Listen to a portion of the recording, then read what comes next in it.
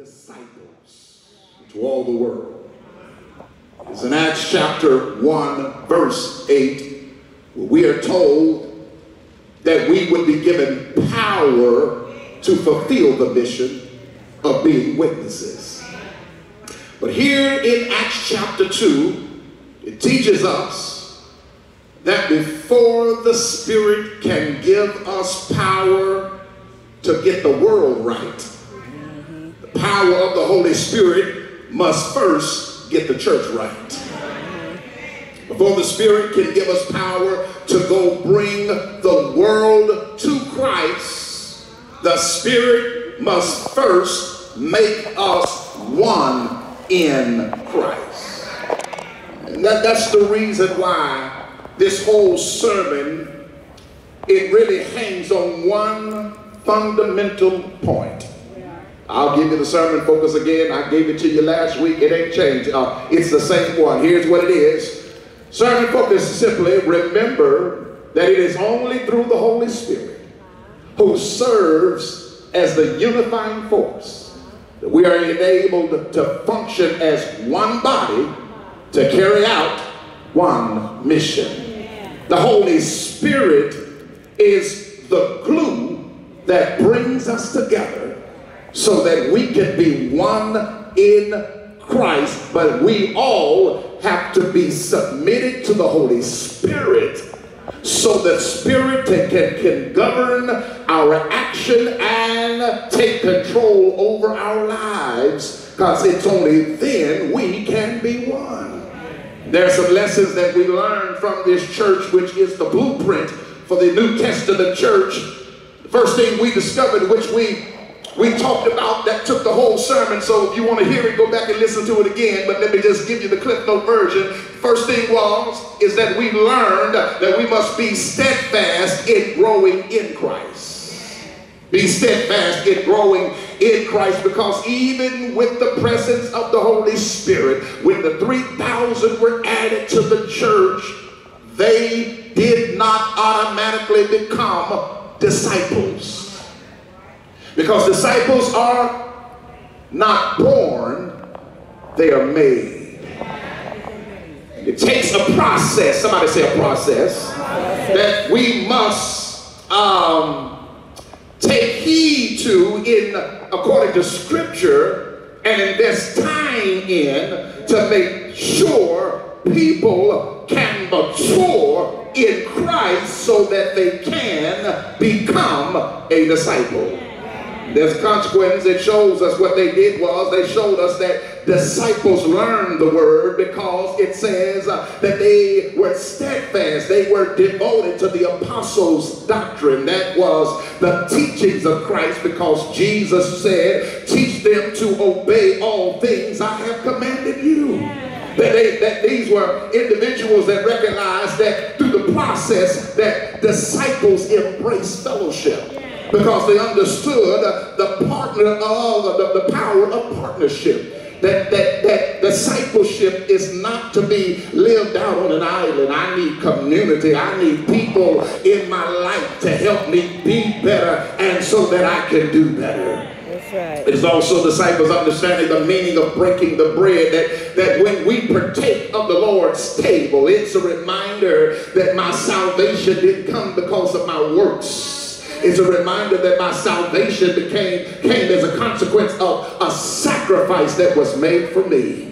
And then it says that disciples, they were praying because what disciples understand is that prayer is not just a tool to use to get what we want from God, but prayer is our lifeline that helps us to stay in tune with God. And here's what we understand, church. I got to move, but I got to give you this real quick nugget, and that is the process, verse 42. Verse 43, it lets us know that fear fell on everyone. That there was this holy reverence for God. There was this awe of God because they'd gone through a process that they had a higher uh, level of respect and reverence for God, meaning they had a God consciousness. And because they went through the process, the text says signs and wonders were performed. Here's what I'm saying. Many of us want to skip to signs and wonders. That's the power. But we can't skip to the signs and wonders and skip and get beyond and avoid looking at the Word of God and prayer and fellowshipping with one another. What I'm saying is, before you get the supernatural, you got to learn how to practice uh, the principles of God's Word. I'm saying you trying to get to a miracle, the Lord says, won't you get my Word and learn how to pray? Because when you do what you can do, I will do what you cannot do. But then here's where I want to pick up because secondly, the second lesson is be sincere in your love for Christ. That's what we have to be. Be sincere in your love for Christ. Because, church, the more you learn about Christ, the more you fall in love with Christ. That's right. The more I read his love letter, the more and deeper I grow in love with Jesus Christ. And this growth stimulates intimacy. Love him more and more each day. The key to this love in this text is that their love for Christ was evident in how they love each other.